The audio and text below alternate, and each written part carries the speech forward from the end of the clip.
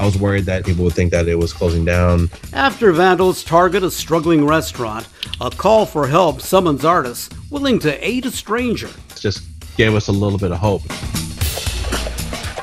I've never had any formal horse training. In our fast paced world, meet a man who's made a living for decades, traveling in the slow lane. Come on, man. Gee up. Hey, thank you. Thank you. Yes, these are tough times, but a birthday party for a veteran turning 103 is something to smile about. These stories and more next on City Stream. Happy birthday, Gene.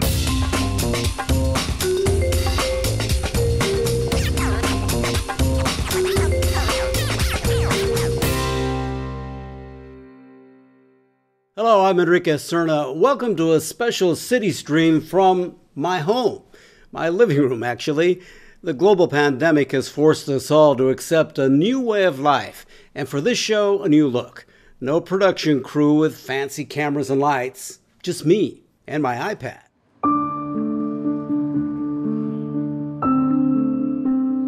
Staying home is helping us stop the spread of this highly contagious virus. Downtown streets, usually clogged with cars, are wide open as thousands of workers telecommute. Many others have no job to go to.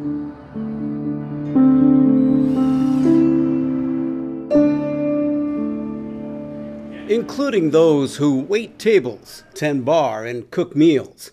Many restaurants have closed. Others are boarded up because they fear racially motivated attacks. But during tough times, the best of humanity appears. Producer Randy Ing shows what can happen when people rise up. I was driving by Jade Restaurant and I saw that there were contractors who were hanging up boards on the windows. And I was concerned because I thought that the restaurant was closing down. So I stopped and talked to the owner's son. His name is Eric. He said that someone had broke out the window and showed me a picture of the broken window. I was worried that further vandalism would occur and people would think that it was closing down. And I wanted something aesthetically pleasing, not only to for the restaurant but for the neighborhood as well. So when people drove by Jade Restaurant, they actually wanted to go in. I put a call out for artists, and within 30 minutes, I had five artists who said, "Hey, we want to do something."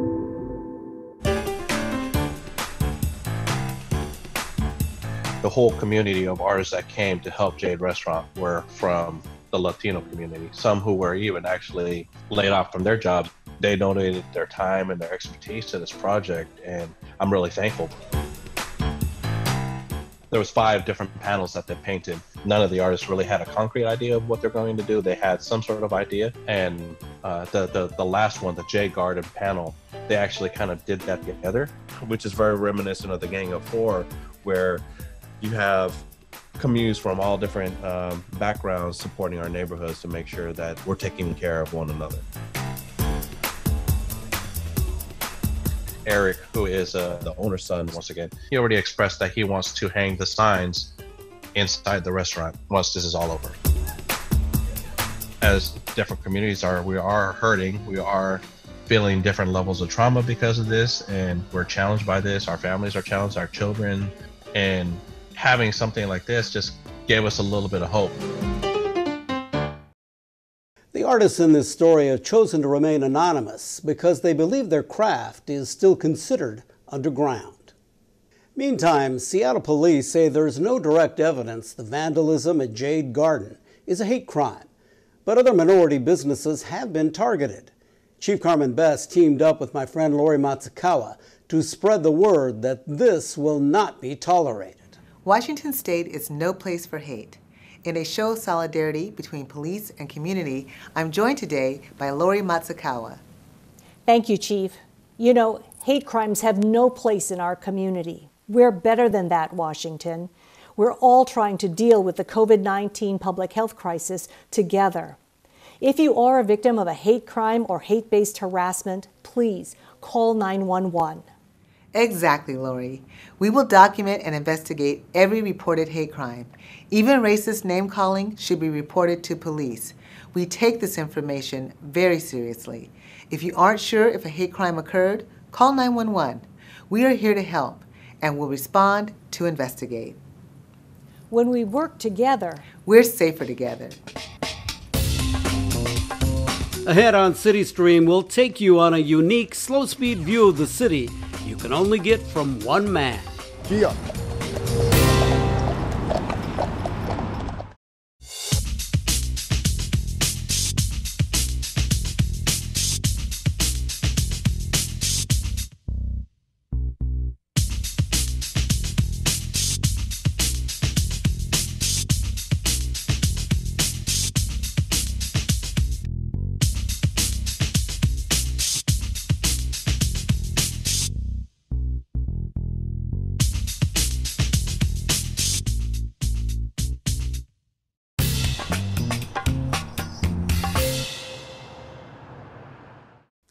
Just a few months ago, downtown streets were packed with people rushing to a restaurant, a show, or a store to finish their holiday shopping. But within weeks, our hectic lives would go from a sprint to stagnation as the coronavirus hit. One man who prefers a sluggish pace has been traveling in the slow lane for decades. Producer Ian DeVere goes for a spin on the streets of Seattle. Ready to ride, folks. It's been an amazing thing. I came came here from New Orleans in the late 70s, and uh, by the time I made it up here, I had 50 bucks left. I set choke, worked in the mills out in Forks, and worked as a shake rat, planted trees, and made some money. And at the same time, I was going down to New Orleans every winter at right before Mardi Gras, and they would always hire extra drivers for the Jazz and Heritage Festival. Would start to get hot in May, and I'd head back up to the Northwest. I bought the first wagon in I think in late '76. Bought this old grain wagon. I didn't have enough money to buy a carriage, and I was training the horse to drive. You know, I was pretty green then. I didn't.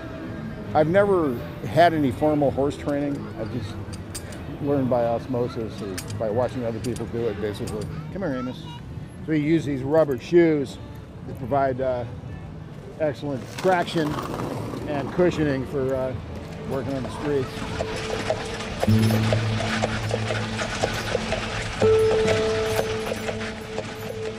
And I didn't, I didn't get much positive feedback from people. You know, people were, were uh, thought it was kind of a crazy idea. Oh, it rains all the time. There's no tourists, and everybody's poor here. So what are you going to do? I said, well, I'd rather just do it cheaper and allow for everybody to go for private rides. Ooh. Uh, there's two words you use on horses, Gee and haw. Gee is right, haw is left. Come on. Come on, Amos. Gee up.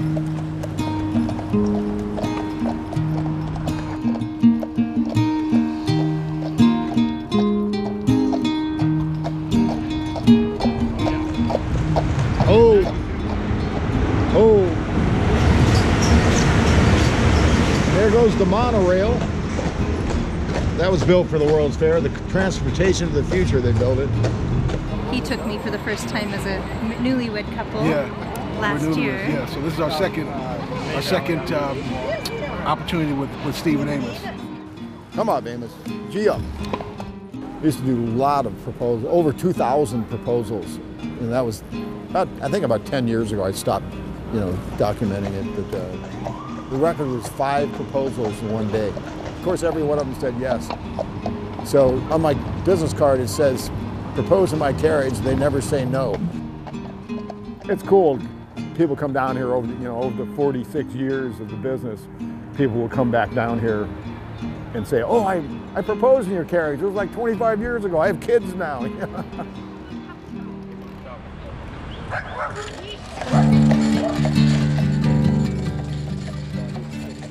oh yeah, definitely the slow lane. I like I like to create slow food and slow events. What are you honking at, fool? Everybody's in such a rush now all the time. They're always rushing everywhere. And I never really wanted to live like that, so I guess that's why I decided to, you know, be an organic farmer and drive a horse carriage because it's, I could have been doing the same thing 100 years ago or 200 years ago.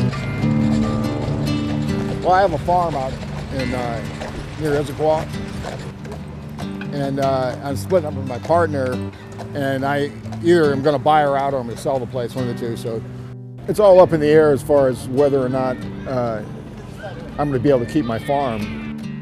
You know, everything runs off the farm, the food and the horses stay there. It's difficult to make money as a small farmer. That's why being a small farmer is kind of like being a musician. You got to have a day job usually. Yeah, we used to have at the peak of it, we had about 15 carriages running out here, and I for 35 years I ran four four carriages. I think there was five or six companies at one point. There would be a line all the time. I mean, it was incredible. You'd come out here 24 hours a day, practically, and there'd be people waiting for you. I just, I just wanted to thank all the people come down and uh, taking carriage rides over the years, and the weddings to the funerals, to the christenings, to the quinceaneras, and the bat mitzvahs, and just everything you can possibly imagine. I think we've done with the carriages. I'll drive horses somewhere sometime. I, you know, I've been doing it for over 50 years. It's kind of in my blood now, so I don't intend on uh, stopping it. When I first came to Seattle, I thought, man, this is heaven. It's hard to believe how much has changed, really. It's a totally different place than what it used to be. A lot of people are, they come down and they go, so where are the carriages? I said, right here. this is it. I'm the one and only at this point. Well, after more than 40 years in business, Steve Beckman has given thousands of carriage rides. Two of his more noteworthy customers, former Seattle Mariners Jay Buhner and Jamie Moyer. We'll be right back.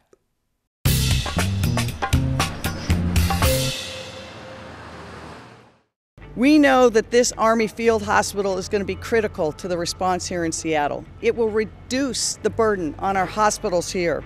That was Mayor Jenny Durkin on March 28th, announcing the CenturyLink Field Events Center would be transformed into a 150 bed hospital for non COVID related patients. It only took the Army about one week to get that facility ready to go. But before it accepted any patients, a decision was made to disassemble the entire hospital and send it to another city in greater need. Governor Jay Inslee said more favorable projections of the coronavirus outbreak in the Seattle area allowed him to make that call. Seattle is home to some of America's finest medical research firms, including an organization that has done in depth modeling related to the coronavirus. We're talking about the Institute for Health Metrics and Evaluation, which is part of the University of Washington School of Medicine. Joining us now is Dr. Greg Roth, a cardiologist and associate professor with the IHME. Dr. Roth, thank you for joining us. Thank you, Enrique. Doctor, tell us more about your organization and how it's helping in this fight against the global pandemic. IHME uh, is an independent research institute at the University of Washington, and early in the course of this outbreak, uh, the University of Washington uh, medical system asked IHME to assist in trying to predict the uh, healthcare utilization needs that were expected to be quite significant. And that includes the needs of hospitals to put people in intensive care units and also on ventilators. The IHME recently came out with new information that suggests the need for hospital beds, ICU beds, and ventilators will not be as high as first thought. Why is that? And what does that tell you? Yeah, I mean, it's a great question. And you know, one of the things that we decided early on was that the purpose of a model was not to take a single snapshot in time of what this was going to look like, but to have a flexible framework that could use new information as it showed up. And so early on, most of what we knew came from places like Wuhan in China. And increasingly, we're seeing what the epidemic curve looks like in places like Italy and Spain and the United States and as that information accumulates, we feed it into the model and then update it every day. We're fortunate in the state of Washington that many of these really important public health measures were instituted relatively earlier compared to some places. And it does appear that we are now beginning to see the really important impact.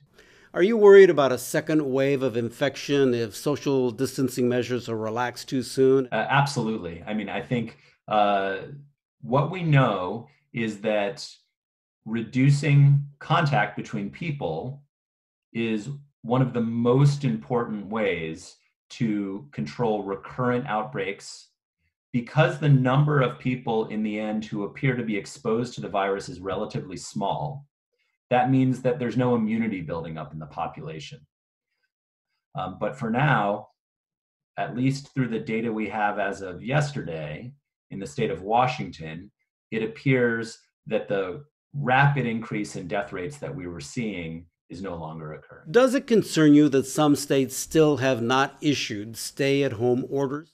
Well, I mean, as a physician and as a public health scientist, I just want to emphasize again that working together as a community and uh, advocating for these kinds of measures that can make a difference is really important. And we know that even in states where the policies haven't been adopted early, uh, cities and towns have adopted those policies, and that can make a big difference. How have countries like South Korea managed to control the effects of the virus? Uh, their infection rate and deaths to COVID 19 are a fraction of what we have in the US. I'm not sure I can explain it. I mean, one of the things we're doing at this point is observing a lot of variation in the death rates in different places.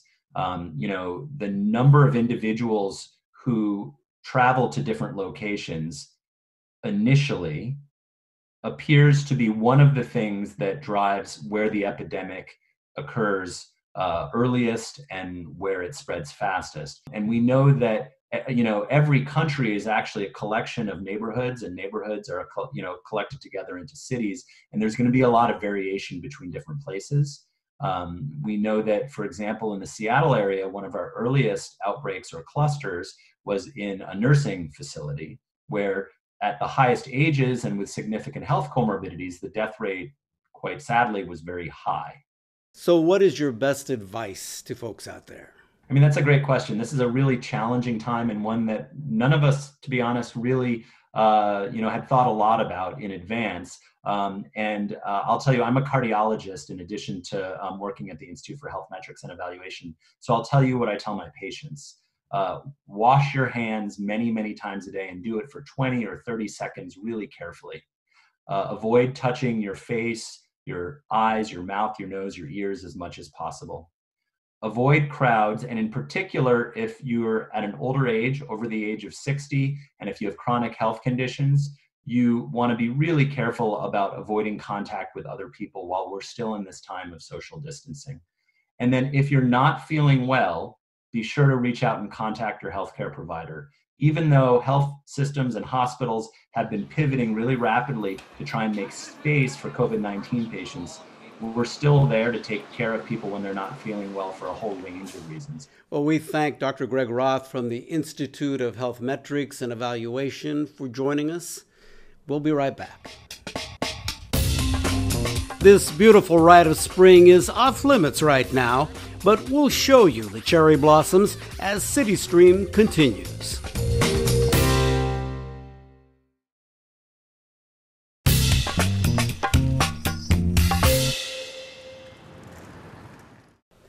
During these times of uncertainty, it's normal to feel overwhelmed and a sense of dread. Experts say one way to cope is to accept your anxiety and unease. And if you think it'll only exacerbate your problem, Listen to psychologist Dan Mosley.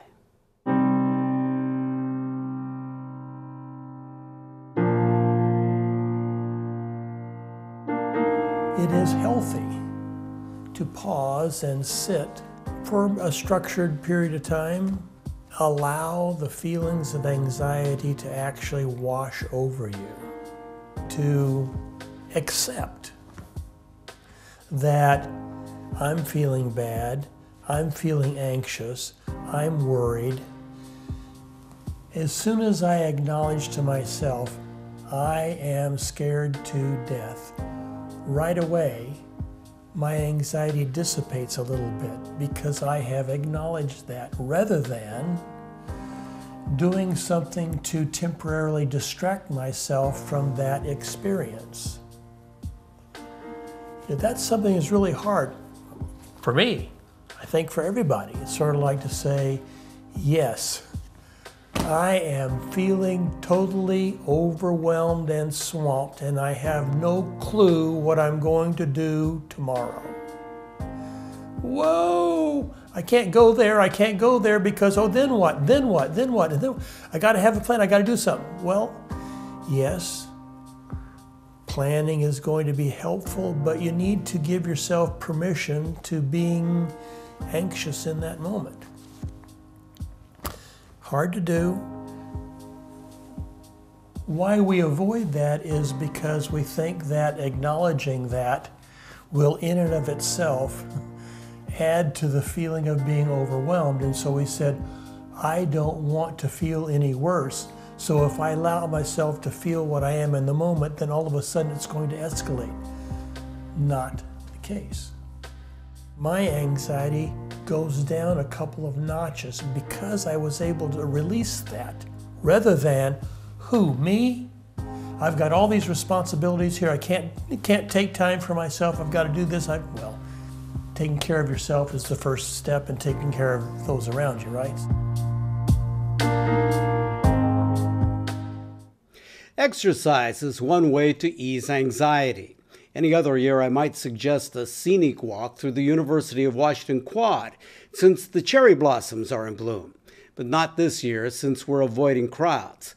Let's try the next best thing a video tour of this rite of spring. Thanks to our producer, Randy Ing. This is the first time here for the year. The sun's beautiful, the cherry is beautiful, so it's like there's no reason not being here.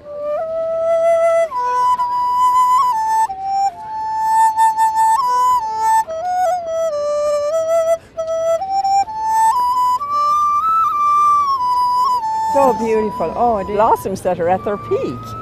This is the first time to come and see the cherry blossoms.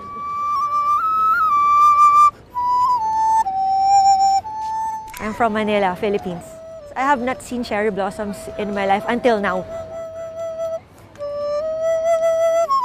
So beautiful. It's like um, you appreciate the beauty of nature and it's very calming.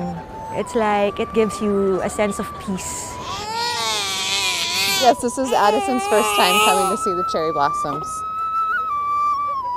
Spring is here and I love the weather in Seattle, spring and summer, and so just gets me excited for the months to come.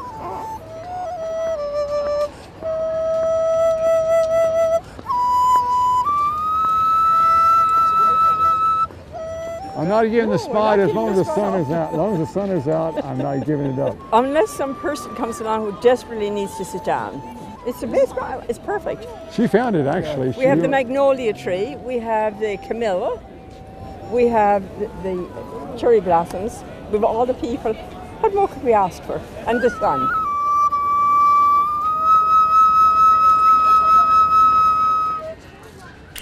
Came to take pictures with our daughter. It's a beautiful day in Seattle, so we had to take our opportunity.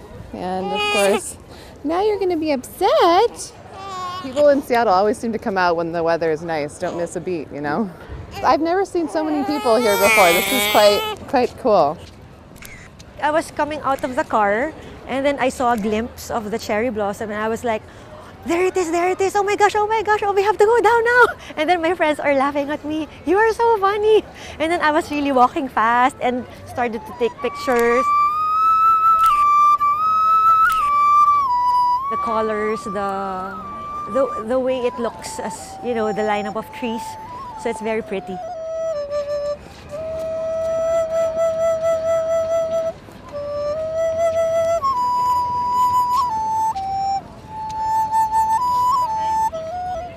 Always the fascination of the UW. Like all the people are being attracted here. It always gave me the sort of atmosphere of being peaceful, and so that's why I sometimes come here and play some bamboo flute.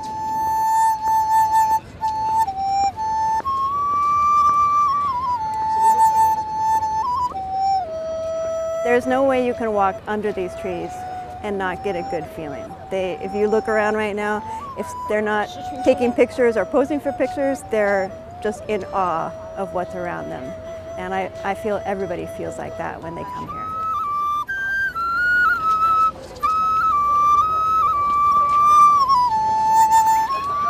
It warms my heart to see other people, everyone else enjoying the, the, uh, the cherry blossoms.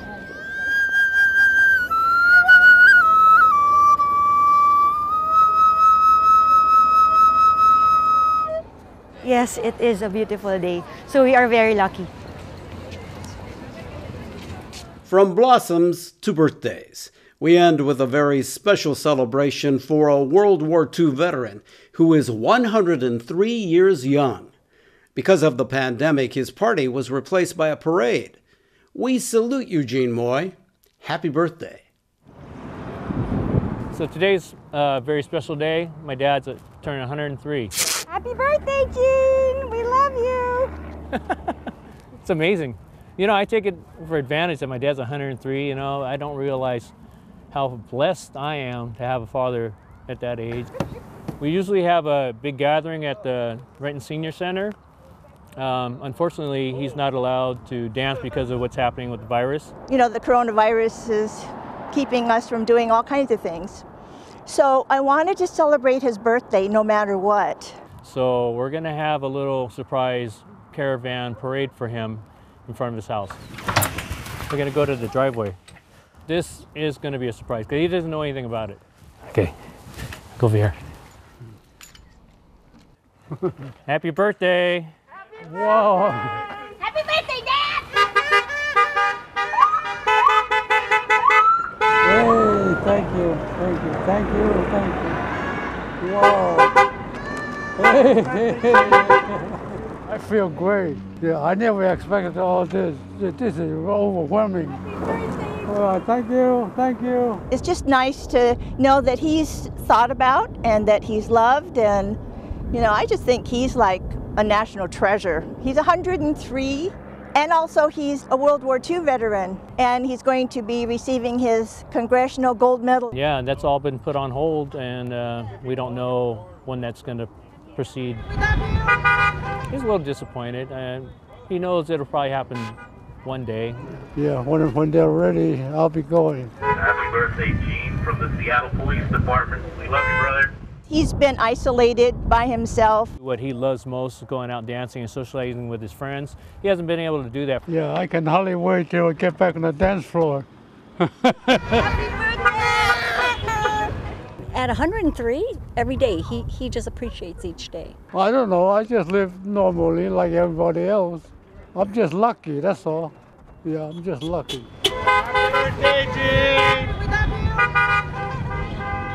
What a beautiful sight and so deserved. That wraps up this episode of City Stream from my home, Casa Cerna. If you'd like to learn more about the great shows on the Seattle Channel, visit our website, seattlechannel.org, and click on Feature Shows. I'm Enrique Cerna. Thank you for watching. Be safe, be healthy, and be careful out there.